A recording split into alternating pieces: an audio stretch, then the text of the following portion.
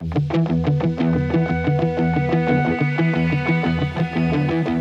lot of people ask the question Did I ever consider quitting? Well, yes. On three occasions specifically, I was done, I was coming home. Plenty of other occasions, I just wished I wasn't in that scenario, in that place. But in this particular episode, we're going to be looking at loving our enemies.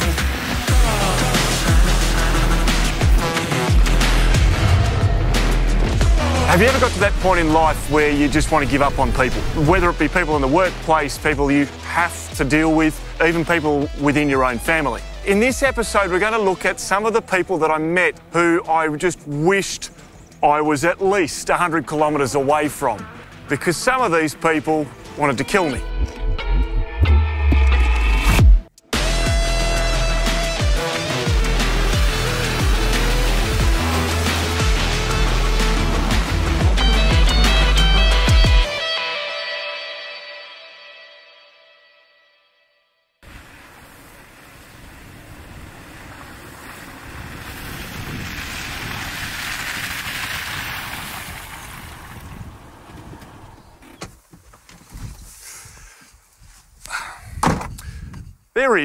A really awkward place that we often find ourselves in with relationships as when we start talking about loving our enemies of on one hand we should perhaps remove ourselves from toxic situations, from toxic people. On the other hand, we should perhaps at the same time extend ourselves in love to forgive our brother or sister 77 times. So we're in this place in between, and there is, just to make a finer point on this from Matthew's Gospel, uh, chapter 18. If your brother sins against you, go and show him his fault, just between the two of you. If he listens to you, you have won your brother over. But if he will not listen, take one or two others along, so that every matter may be established by the testimony of two or three witnesses. If he refuses to listen to them, tell it to the church. And if he refuses to listen even to the church, treat him as you would a pagan or a tax collector. I think find ourselves agreeing with that last bit quite well. If we have an enemy, I mean a genuine enemy, we all know who those people are. We don't mind when we get to that point. Not that we necessarily go through that process all the time or we give people that, that benefit. I want to talk about those moments when there is an opportunity to extend ourselves, when we continue to love our enemies, even if we do have to put some gap between us and them.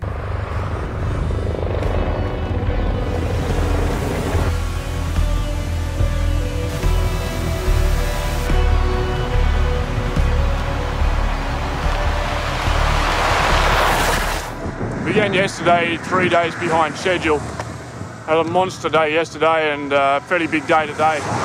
So I'm about two and a half days behind schedule now. And with another big day tomorrow, I'll hopefully be back to about two days behind schedule. And then begin to make my way uh, back to being on schedule. It's very important that I get on schedule. I only have about uh, less than 60 days, less than two months before I have to be on a plane back to Australia for World Youth Day. So my, my flight is booked and it leaves on the 11th of July, which is a day, one day ahead of schedule actually, so technically I'm probably four days behind. Hello. Maybe I could just get one of them.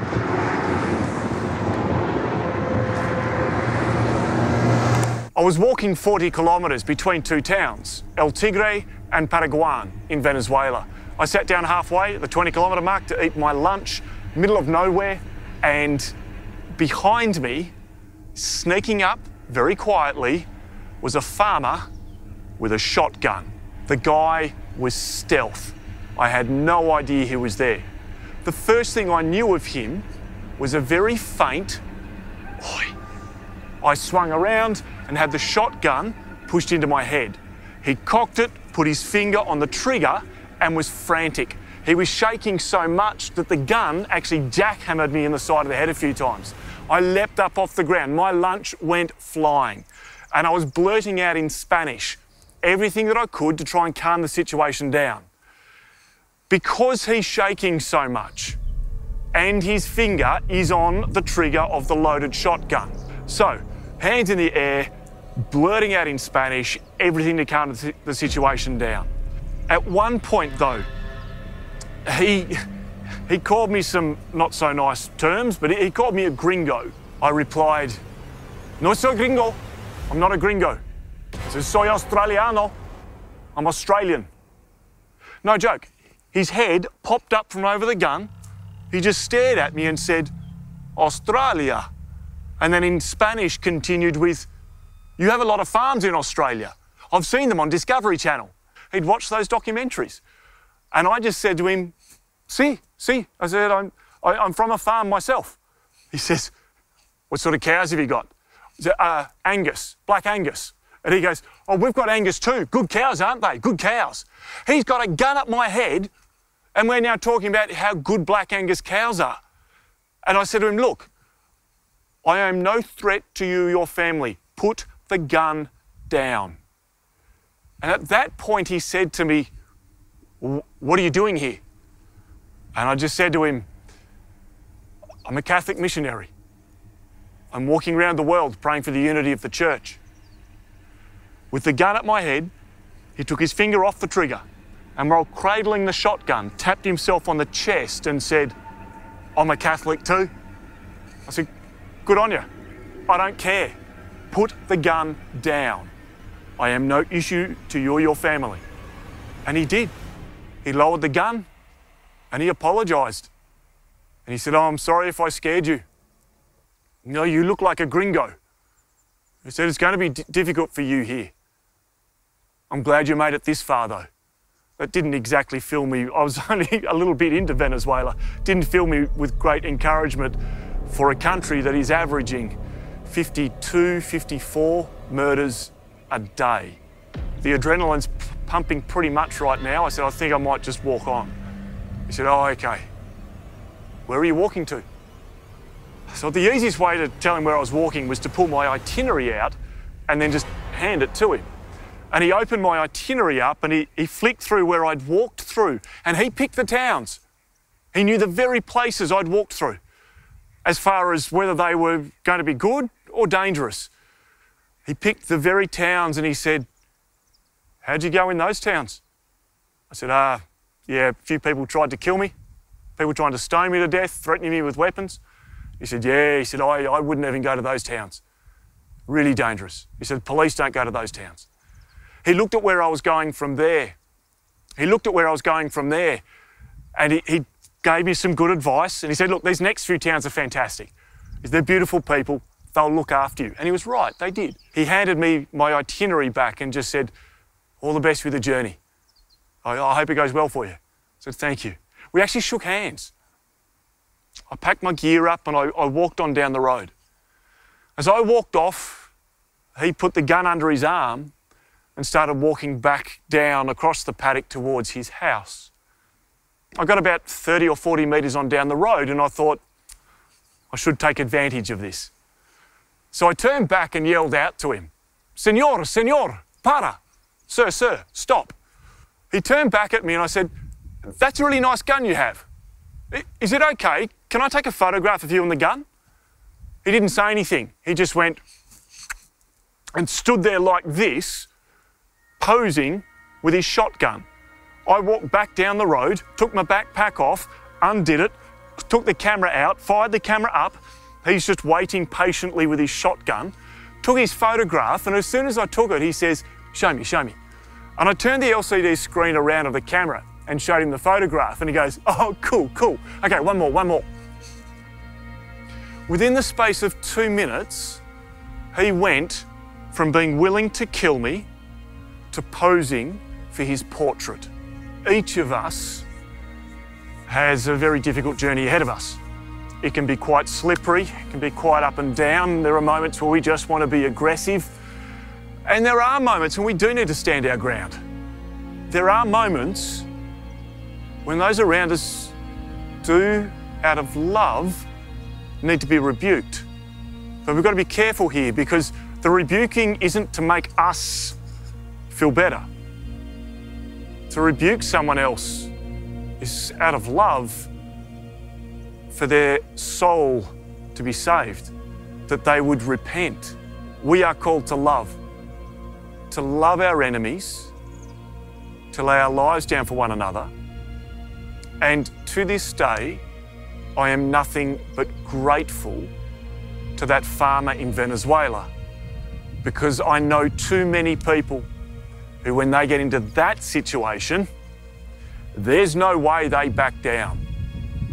And in that moment when they realise they are wrong, they'll just bluff their way forward from there. The humility that he showed to go from having a gun up against my head to then realising, oh, he's not a threat, and actually apologising and invited me to sit back down and eat my lunch. That took extraordinary humility. Very difficult to love our enemies.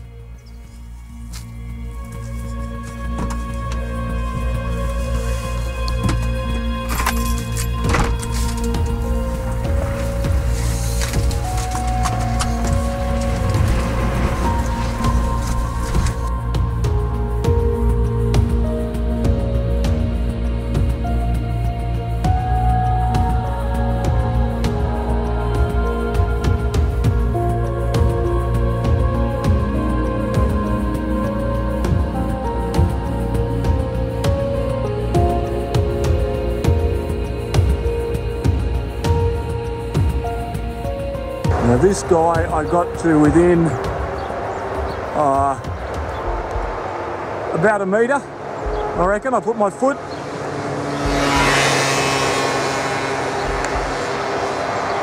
I was very close to him. I put my foot about where that crack is.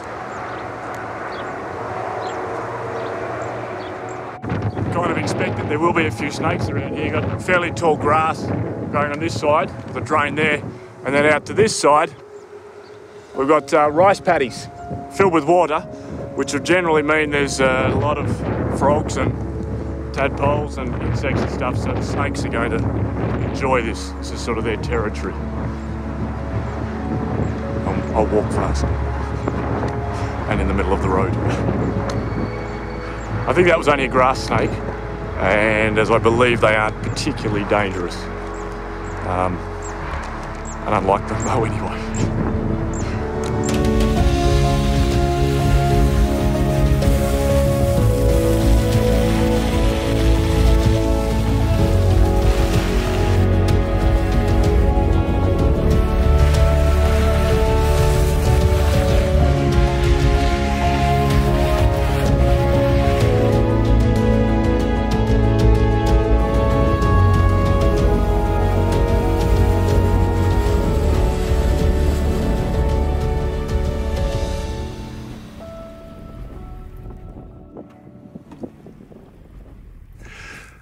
relationships, I'm often reminded of a beautiful, beautiful moment in southern France. Now, what happened was I walked into a small village called Saint Gilles.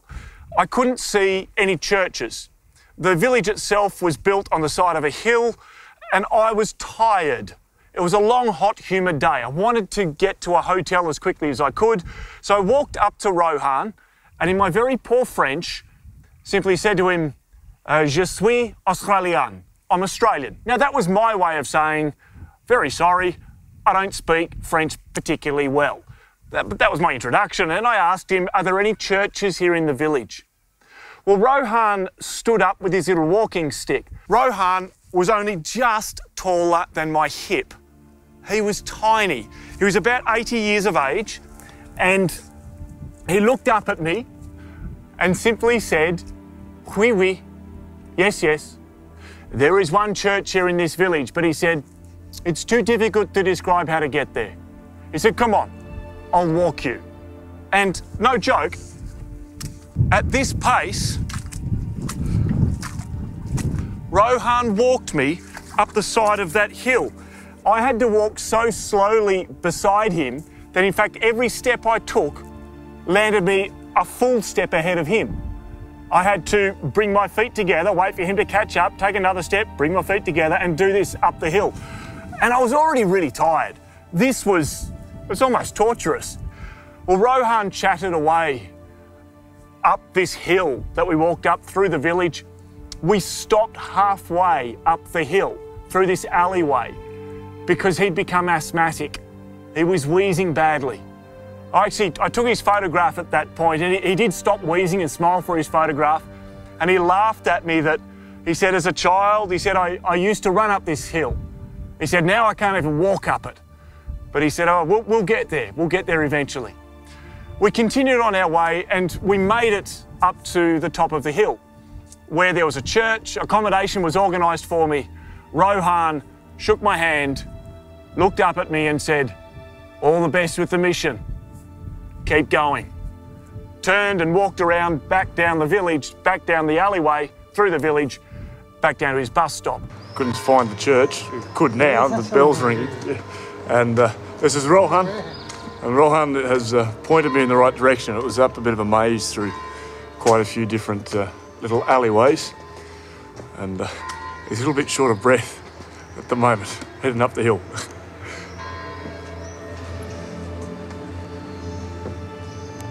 The next village I arrived in, the same thing happened.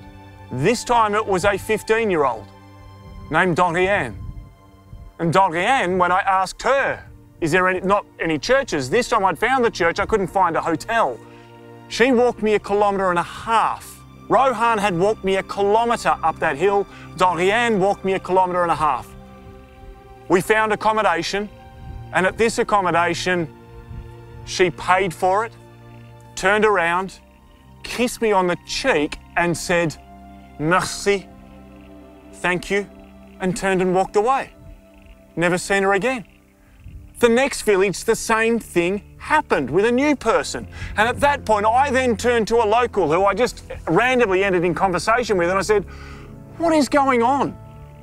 Like, why is everyone here so unbelievably friendly? Why are they so nice to me?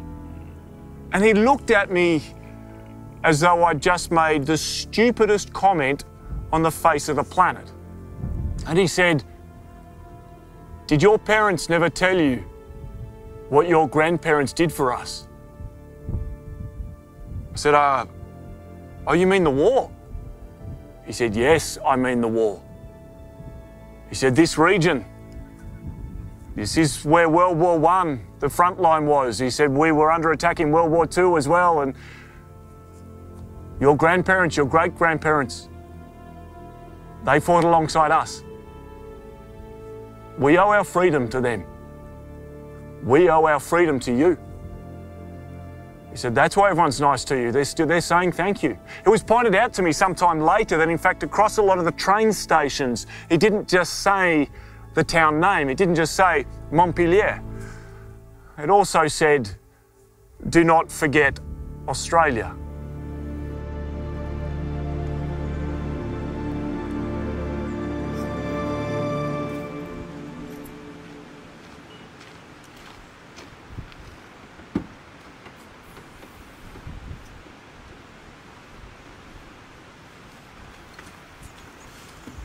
I've often wondered what Rohan would have done had I introduced myself as German.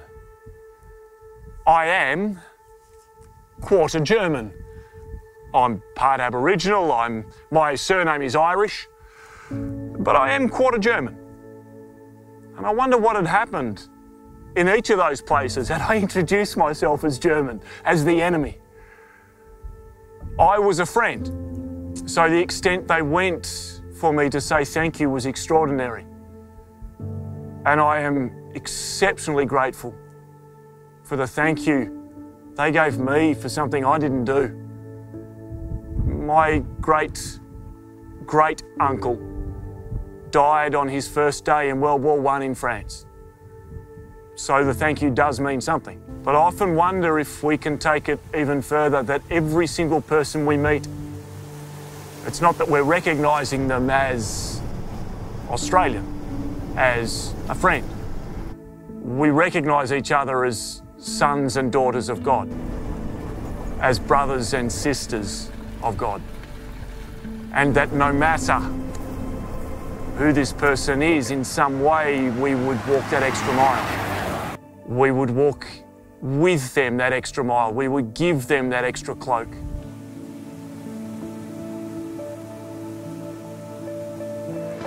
It's quarter past nine in the morning, but it's actually getting darker over the last half an hour. The, uh, the clouds have thickened. It's pouring with rain in the background, and there's a bit of lightning around. And it's just got very, very dark. It's probably not showing up on the camera. The camera's got a, well, it automatically tries to even everything out. So it's probably showing up a bit lighter than it actually is. But it, it feels like it's 9.30 at night, not 9 and 9.15 in the morning. I doubt that I'll make it through today without getting saturated.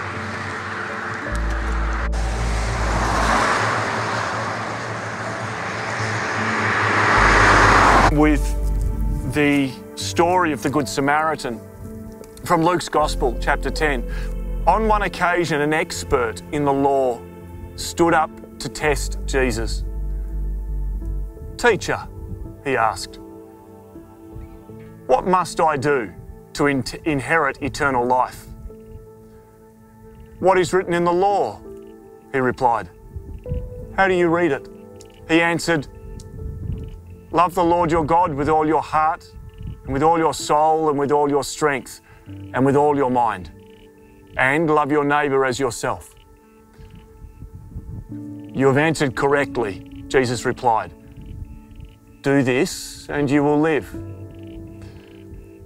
But he wanted to justify himself, so he asked Jesus, And who is my neighbour? We do it day in, day out. Who is my neighbour? Who is it that I should love? And who is it that I should ignore? Who is it that I should put a gun to their head? Who is it that I should pray for out of love or ignore completely? We're called to love our enemies. And if we can't, pray for the grace to. Holy Father, we thank you for the gifts of love. We thank you, Lord God, for the wisdom to be able to discern right and wrong through the gift of your Holy Spirit. We pray, pray, Lord God, you'll please bless us with courage to lovingly rebuke those around us who are leading themselves or those around them astray, to be patient with them. And when we are rebuked, to have the humility, thank that person who has rebuked us, but then to fully turn back to you, to repent. We pray, Father, for the courage to love our enemies. In your name, Lord Jesus. Amen. In the name of the Father, and of the Son, and of the Holy Spirit. Amen.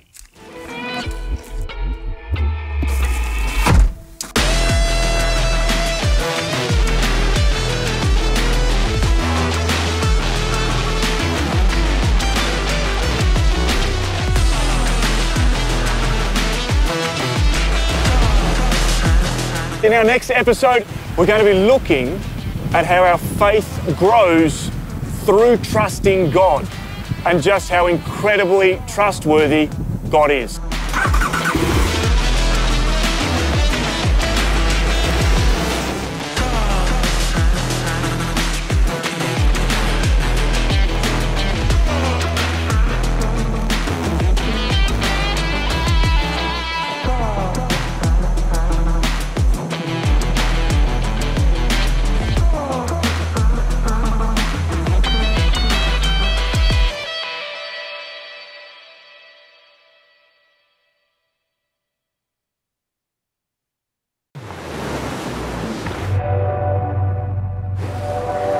Searching for answers?